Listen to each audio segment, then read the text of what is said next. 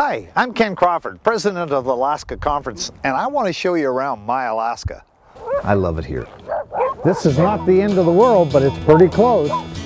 I love Alaska. It's the greatest adventure you could ever imagine. If you want to find out more, go to our website, alaskaconference.org, and you'll find all kinds of information and stories on what Alaska is like. There's a constant collision between civilization and nature because we live next to each other. There's a feeling of remoteness, not isolation, but remoteness. There is a vastness in the wilderness in Alaska. The mountains are more majestic. Nature is undisputed master. There's something about this country that sets off in me a craving for heaven. The living conditions are a challenge, I can tell you. But the needs in Alaska far outweigh the challenges of living here. Kodiak Island is an Alaskan icon. Its 3,500 square miles of pristine wilderness is a coveted destination by outdoor enthusiasts from around the globe.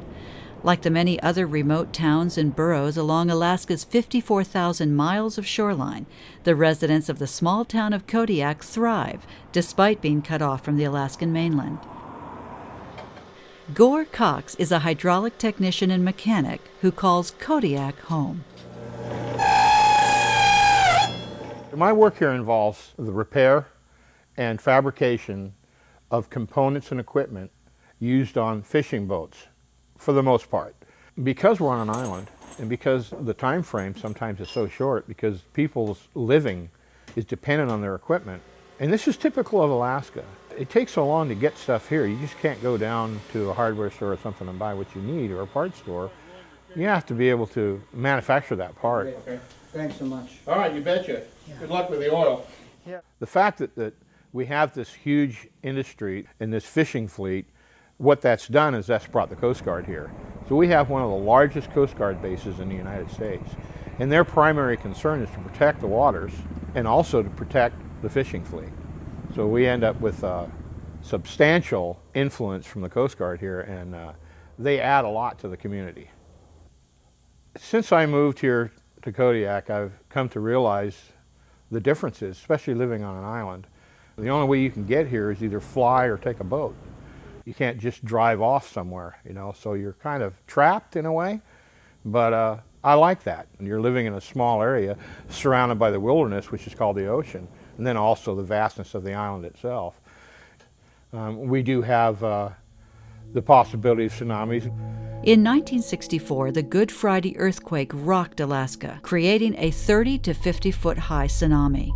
The town of Kodiak was alerted by radio of the impending disaster, and most residents made it safely to higher ground. However, 15 fishermen lost their lives as they rushed to the harbor to save their boats, and most of the waterfront industries were destroyed. I own a 40 foot X charter vessel. I spent a few years uh, building up to that vessel. And my original purpose was to uh, go into uh, charter fishing, taking people sport fishing for hire. And during the course of that endeavor, I inadvertently ended up helping some of the local community, the local churches, uh, with transportation and whatnot to their Bible camps and whatnot. And I really enjoyed doing that. And uh, eventually got away from the idea of being a charter skipper and decided that uh, a community service ministry would be uh, something that I really would like to do. So with that in mind, I proceeded to reconstruct, rebuild, and build this boat up for the sole purpose of being a community service. And that's really the love of my life right now.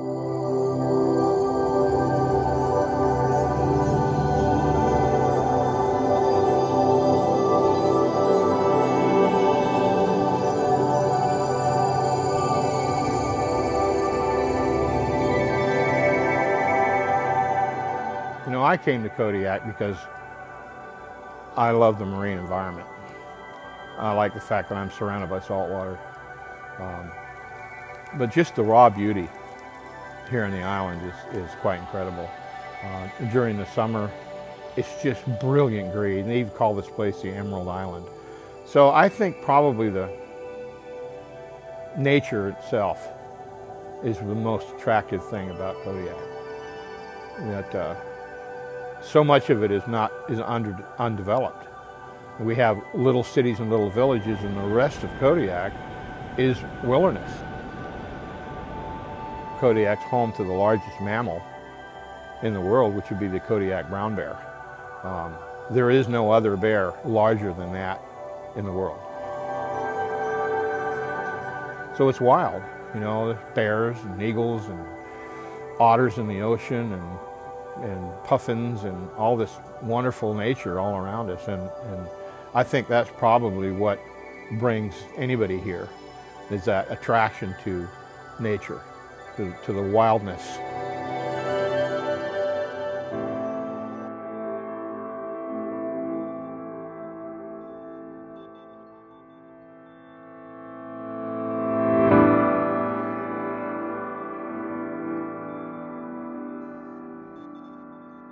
The peace of mind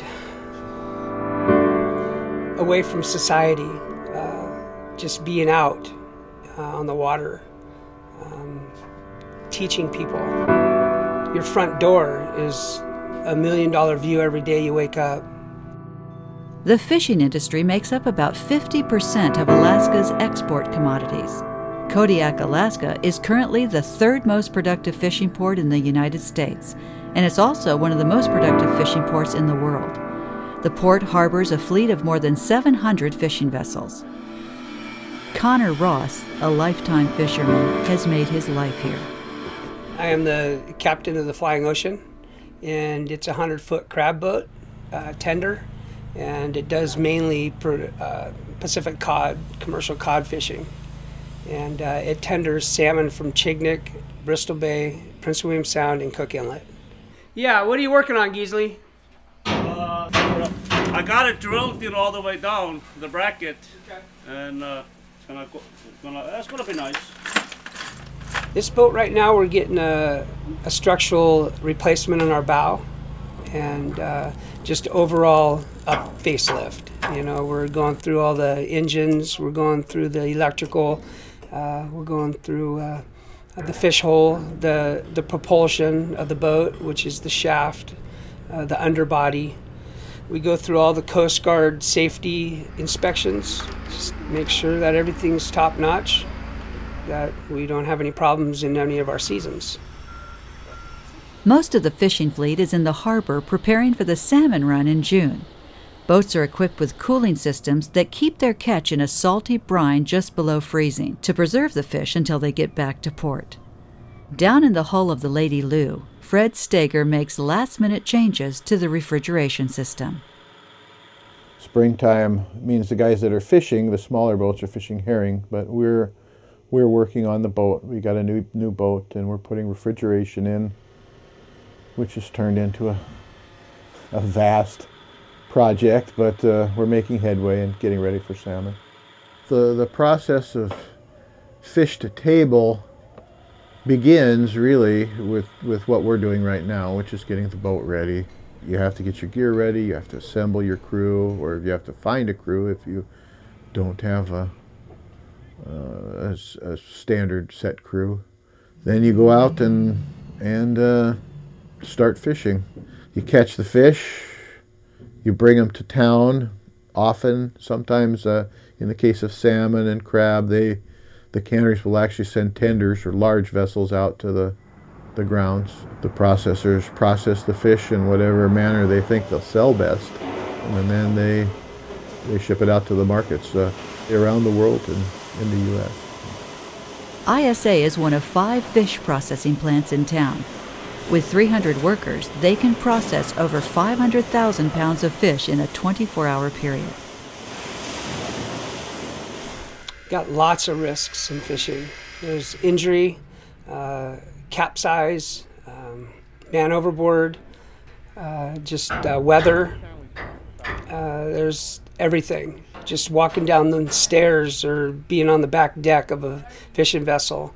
Uh, you got the crane, the block, hydraulic crab block. You have picking hooks. You have crab pots. You have uh, just all the equipment on the boat is a hazard for anybody you know that's operating. There's everything that's a hazard on a crab boat or a tender or any boat. All right. When you're done with that, peel the tape off and then come see me.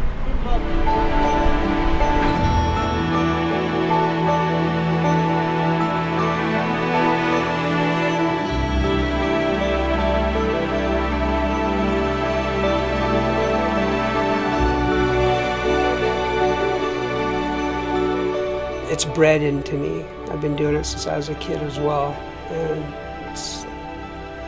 I've tried to quit more than once, and it's something that I just come back. It's it's in your blood.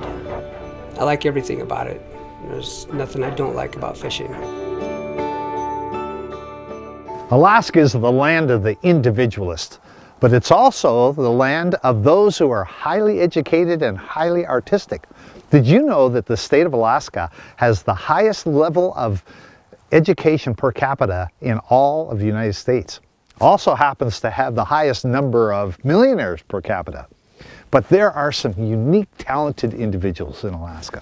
I want you to meet Paul Kildal is a concert pianist who lives in a log cabin in the interior of Alaska. Burr. This way to the piano room. Wait till you see his studio.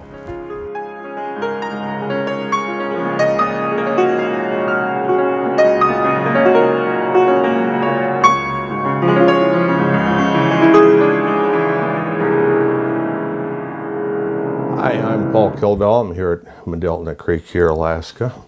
And uh, we're about 156 miles east of Anchorage on the Glenn Highway. We went snow machining this last Sunday to an ice cave at Sana, which is just out of Valdez. It was massive. It was just ice. Over, you could have fit 100 snow machines in it. It was absolutely fantastic. Everything is gorgeous. I work here at the Prince William Sound Community College in Glennallen, Alaska. I was raised in a Catholic home and it was a, an abusive alcoholic home. So I, of course, was kind of that way also. I, um, I, I was an alcoholic by the age of 18. I moved to Anchorage, joined a Pentecostal church, and um, decided that I didn't want to live in Anchorage, so moved back to Glennallen. Starting my story here, I guess, uh, came up in Alaska in 1974 uh, from California, uh, a little town called Oakdale by Modesto. And uh, I always wanted to come up to the far north because we had a sixth grade teacher in our, uh, uh, our elementary school system, Mrs. Anderson, that kept reading all these north, far north stories all the time. And I, I just wanted to come to the far north. And that's one of the reasons, probably the biggest reason I spent and came up here. Uh, prior to that, uh, when I got out of high school, uh, I, I, was raised an Adventist.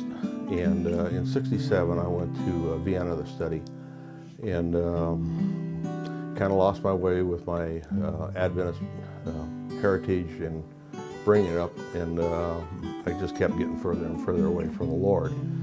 Um, while I was over in Vienna there, we studied and I got a lot of my training. I just, I love the training there. And it just tells me exactly how to teach kids. I've never, uh, uh, it's one of the greatest schoolings I've ever had, even though I did not stay that long there. I decided that uh, this is way too narrow of a field. Um, I still have a lot of country boy in me. I like cars, tractors, motorcycles, and stuff like that. And it was just too narrow of a field for me uh, to be going into this uh, type of work of playing concert pianist type thing.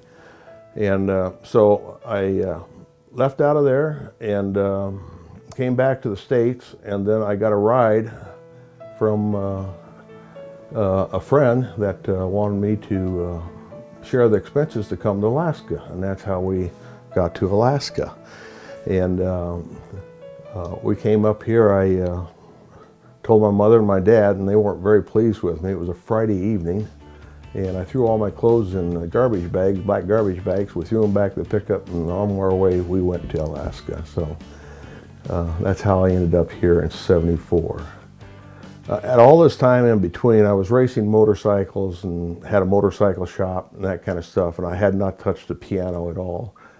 In 77, uh, it was a Yamaha dealership there, and I bought a new C3 six foot Yamaha Grand. And I thought, well, I need to get back into this.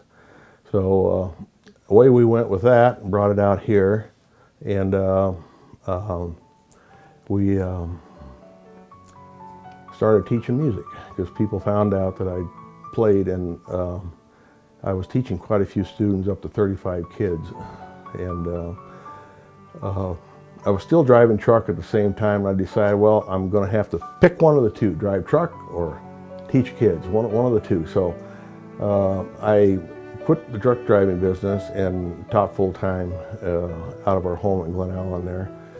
And we had 35 kids and uh, had a good time doing that. But there's uh, the reality of medical and all these different things that I didn't have.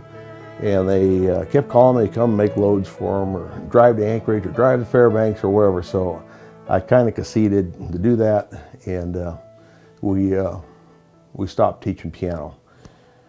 In the meantime, uh, my C3, I beat it to death. Uh, as you know, when you tune pianos and you play them a lot, well, maybe you don't know, I shouldn't, shouldn't say that, but when you keep pulling on strings and pulling on strings, they get brittle and then they break. And I was having a lot of problems with it. Went back into Anchorage and this nine foot Baldwin was sitting there and they brought it for Dave Brubeck and his quartet. And uh, they didn't want to ship it back to uh, a lower 48s.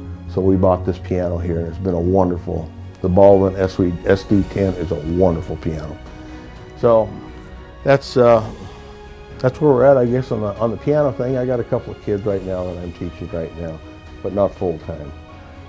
Very difficult thing for me to come back to the church. Uh, I was brought up in a very legalistic family, very legalistic. And uh, I didn't really want anything to do with the church.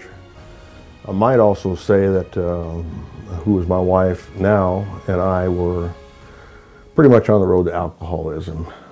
I met my husband, Paul. He was a truck driver here at one of the local fuel companies, and he um, had been raised in an Seventh-day Adventist home, but he had gone out of the, of the church. He was drinking and carousing, and we got together, and Paul's mother sent us some cassette tapes by a Seventh-day Adventist evangelist, Morris Venden. Many of you might have heard of him.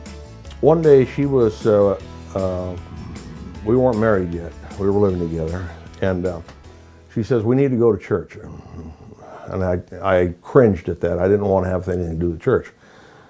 So um, I says, well, if you're going to go to church, you're going to go to a Seventh-day Adventist church on, on the Sabbath. And she says, what's that? And uh, she says, well, you're going to have to show me out of the Bible where it says that and everything. So we started studying, and then my son Terry, uh, was her son, not my son at the time. I mean, I had not adopted him, but he started reading the Bible and says, Dad, we got to go to church. He says, this is not right. And it's Sunday, going to Sunday and all these different doctrines that were coming out. And he says, why aren't you doing this? And of course, all I could think about was uh, the, uh, the way it was before the Adventist church, legalism. And I didn't want any part of that. In the meantime, of course, we were studying, and Gayle was studying, and she'd made up her mind she's going to become an Adventist, I think, at that time, and Terry.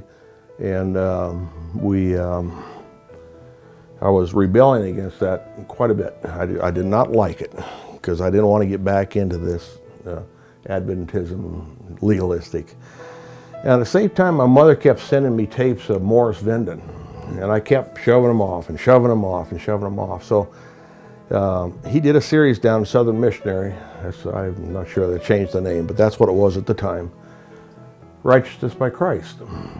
And um, I listened to the tapes and I never have looked back.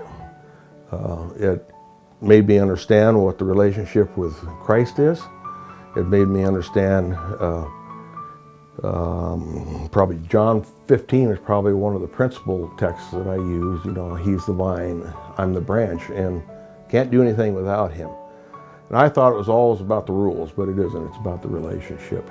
God had a plan for our lives, and he wanted us to love him, and we do. Oh, Lord, will we ever. But we, um, we have raised a family here in Glennallen. We have um, three children, three birth children. We have another child we adopted when she was a senior in high school who came from a very abusive home. And because of my background, I was able to connect with her. She has since become a very, very lovely, God-fearing woman. She has just got a wonderful love for God. She's put on seminars about suicide prevention and about how God can bring you from, from the depths of despair, if you will, to heights of wonder, actually. It's wonderful being a Seventh-day Adventist Christian and knowing that God cares about every facet of my life.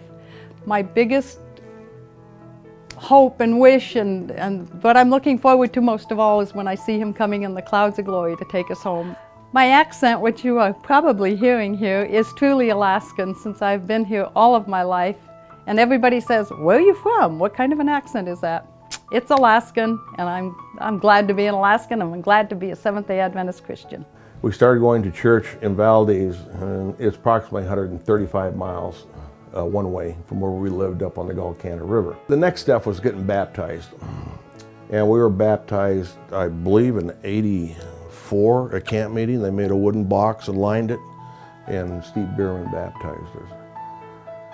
So that's where we're at right now, and uh, we've had several places we've tried to get churches going here, and sometimes they go for a couple of years, you know, meeting at homes and stuff, and uh, um, then it would die out. So it's uh, it's been kind of a tough hole, tough road to uh, hoe here in Glennallen there. But I sure believe that the Lord has something here soon because I, I think what we see in the economy and what's going on in the world that uh, people are not getting the right answers in these other churches. And I think we have a very unique message. The Valdez Church is our principal. It's our home church that I identify with. And uh, we had a lot of, lot of good times there. It was a good church. We uh, lived in a uh, very large house in uh, Glennallen there. It had five bedrooms and a big garage.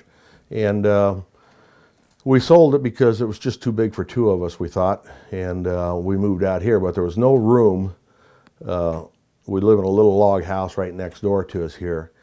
And I bought this building and we moved it out here because it's well insulated and it's I can keep it at the humidity I want and the temperature I want for this grand. So um, we're looking at a new house right now in Glennallen, and I can hardly wait. Maybe we'll get it. It's a big house. We can have church there and put this uh, this piano in there, and so more people can enjoy it. So, uh, anyway, um, yeah, I uh, I do a lot of reloading. Uh, this is a Dillon Press 550 press, and uh, it's a progressive press that I use. Uh, I load about 150 rounds an hour with it, and um, I do a lot of shooting. So, you know, out in the remote area here, we don't have access to um, ammunition. And uh, even in Anchorage, it's hard to get the stuff now, the components with all this uh, gun laws that are going into effect. So we make our own, we put our own stuff together here out in the remote area. We uh, do the rifles, we do the, the this here's a 10 millimeter um, pistol shell for a Glock 20 that I, uh, I shoot. And these are kind of hard to get a hold of, these 10 millimeters, because a lot of people don't shoot the 10 millimeter. As it is out here in the, uh, in the bush here, it's the same way. There's no churches out here to speak of. Uh, there's little ones, uh, groups here and there that uh, we get together with. Um, we have one main building that we are using in Glennallen that we use for church once a month is what we're doing. The one thing that I'm really excited about out here in the bush is uh, the remote Sabbath school lesson that uh, anybody can call in on an 800 number. It's free. We just love to have you study with us on the Sabbath school lessons. The same lesson that they have in the church on that same Sabbath. And uh, we just love to talk to people about our Lord and Jesus Christ. Our time at uh, we start is 10 o'clock Alaska time, and uh, we'd love to have you join us there on the phone. Like I said, it's a free number. Well, I want to thank you uh, for visiting here with me and uh, hope you'll join us in our Sabbath School, Bush Sabbath School lesson here. Uh, I will play you now uh, one of my favorite pieces here, uh, Jesus, Jesus, there's something about that name by Bill Gaither.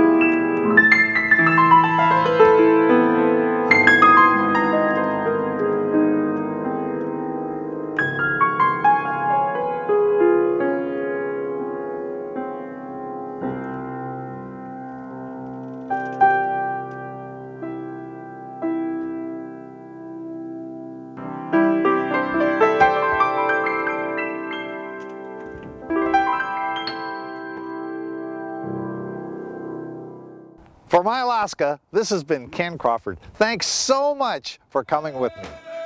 If you enjoyed watching this series, if you're interested in what you've seen or what we're doing in Alaska, Go to the Alaska website, alaskaconference.org, and there you'll find additional information.